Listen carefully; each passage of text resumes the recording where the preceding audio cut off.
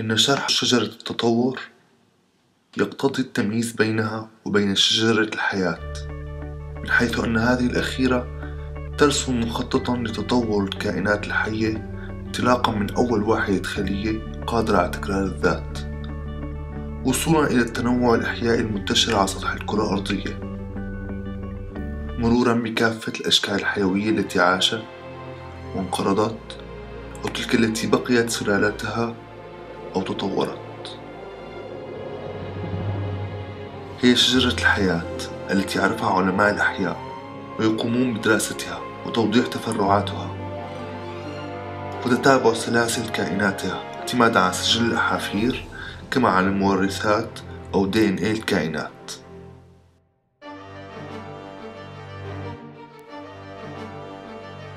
أما بخصوص شجرة التطور فهي تنطلق مما قبل أول واحدة خلية أي مما قبل الكائنات الحية. فهي تنطلق من انفجار الكون الكبير الأول. لتصل إلى ما بعد الإنسان. نحو المجتمعات أي متعددات الأفراد. إلى الهرم الأرضي الكبير كما المجتمع المثالي الآلي.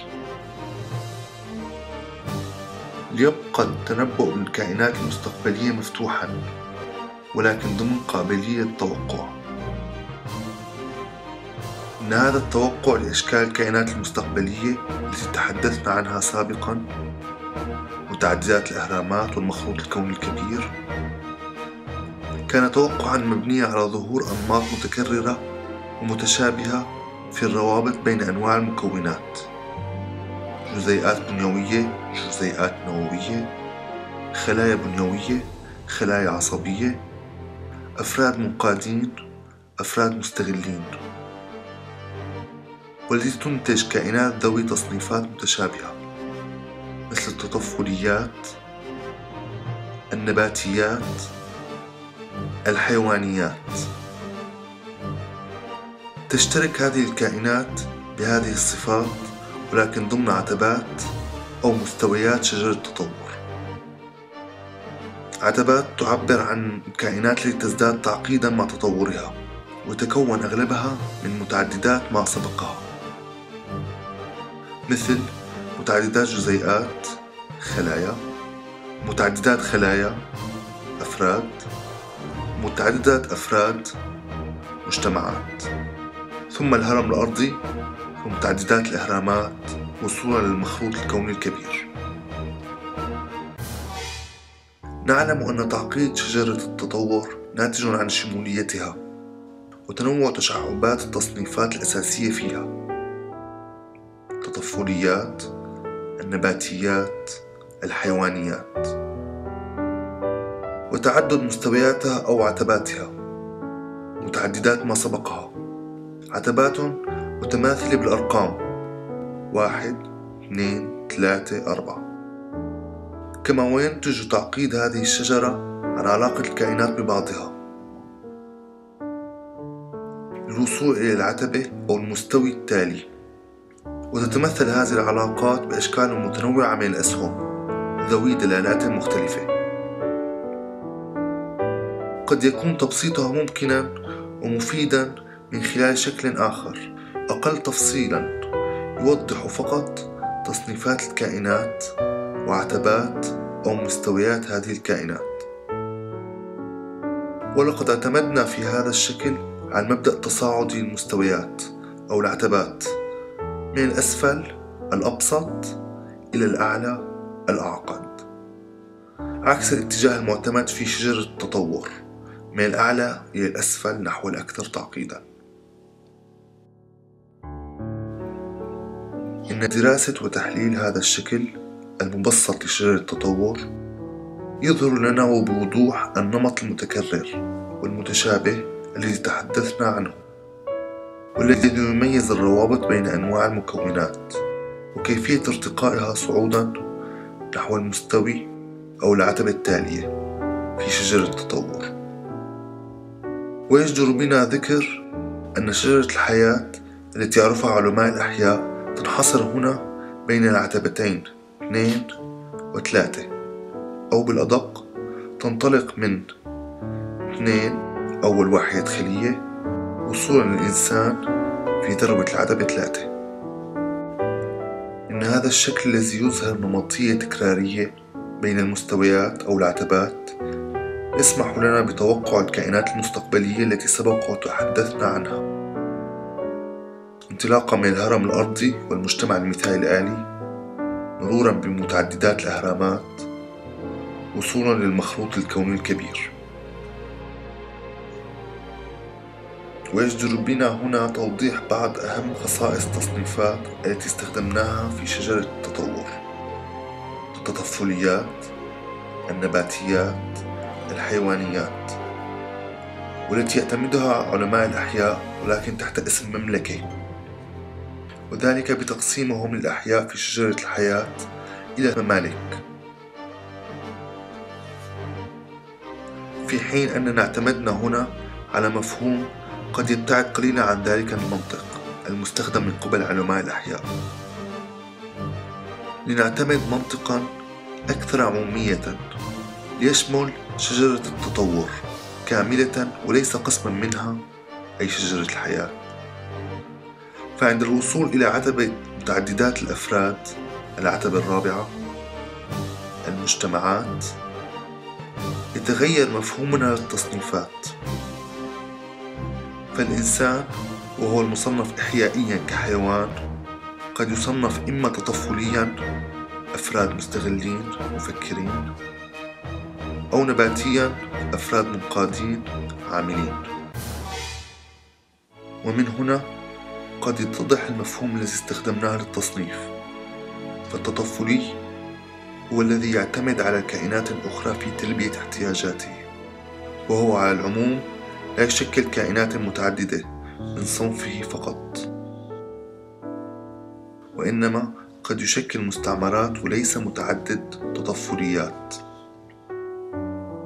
أما النباتي فهو الذي يعتمد على نفسه في تلبية متطلباته.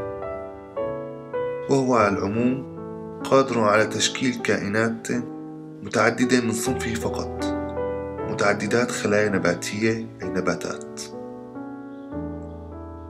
في حين أن الحيواني هو النشيط الشره وهو أول قفزة نحو العتبة التالية حيث يتطور ويتشعب ومن ثم يتمايز إلى صنفين تطفلي ونباتي يشكل بأنواعه بيئة خصبة لترابط هذين الصنفين والارتقاء نحو عتبة جديدة ومتعدد ما قبله جديد. عتبة فوق أخرى كائن هو متعدد ما قبله فوق آخر يتشكل في البداية بترابط مكونين أحدهما تطفلي والثاني بنيوي نباتي. ليتحكم ذاك التطفلي بمجموع المكونات البنيوية فيشكل متعدد للمكونات.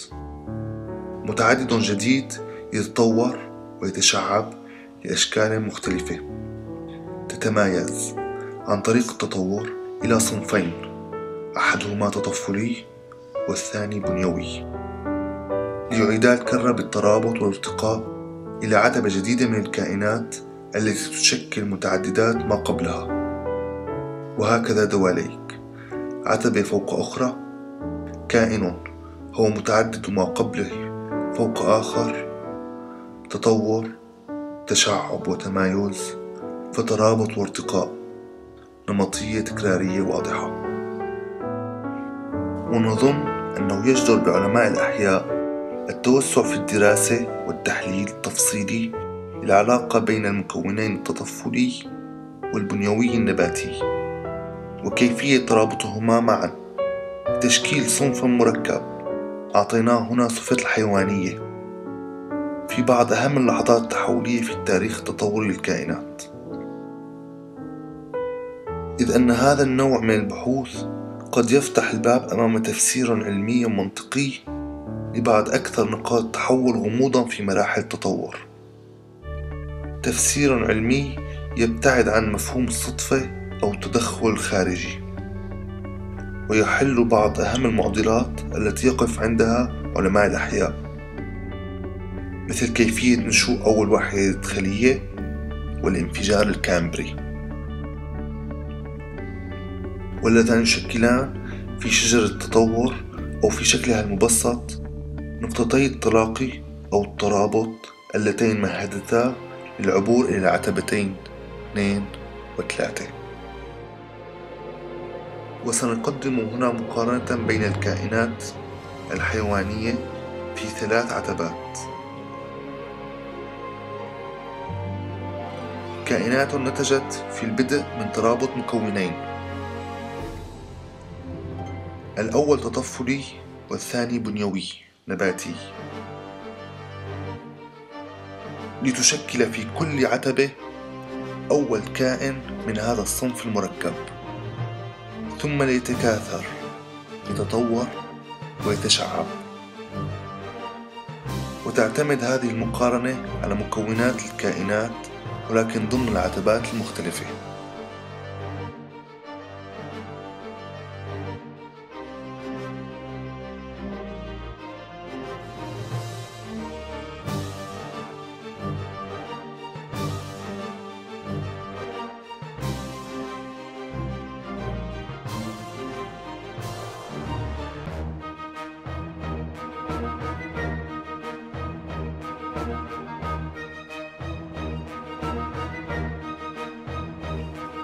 نميز بين ثلاث وسائل للربط والتواصل بين المكونات التطفلية والبنيوية النباتية لتشكيل الكائنات الحيوانية.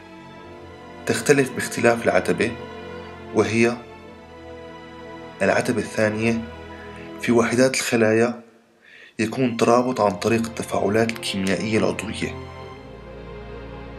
في العتبة الثالثة وفي متعددات الخلايا الحيوانية يكون ترابط عن طريق الإشارات والسيالات العصبية والنواقل العصبية. العتبة الرابعة في متعددات الأفراد يكون ترابط عن طريق الأفكار واللغة.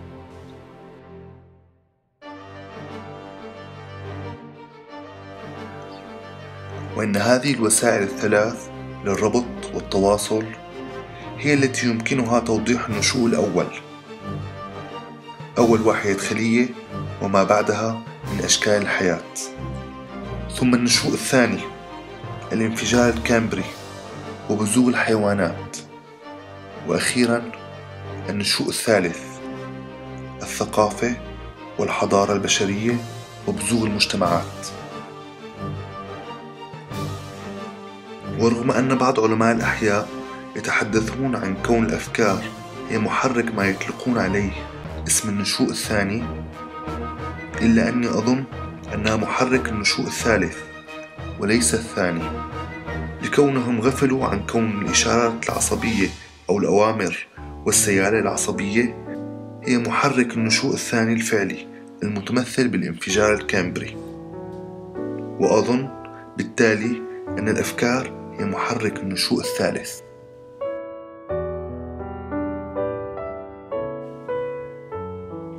ويجدر بنا في النهاية الأخذ بالعلم أن هذا الترقيم لدرجات النشوء يمكن تطويره وتعديله بإضافة أرقام سابقة. وذلك بالتوسع في تفاصيل مراحل ما قبل أول واحدة خلية المسمى بالنشوء الأول. من حيث إضافة مراحل انتقال من الذرات إلى الجزيئات. أو حتى ما قبل ذلك كالانتقال من الإلكترونات والبروتونات والنيوترونات إلى الذرات. فهي مراحل أهملناها هنا رغم إمكانية اعتبارها نقاط بداية لمرحلة نشوء مختلفة. ترتقي عبر عتبات شجر التطور. في الختام لا يسعني سوى تقديم أسمى آيات التقدير والتكريم لتشارلز داروين. الذي أطلق نظرية التطور مما أتاح لنا فرصة البحث والتطوير في هذا المجال.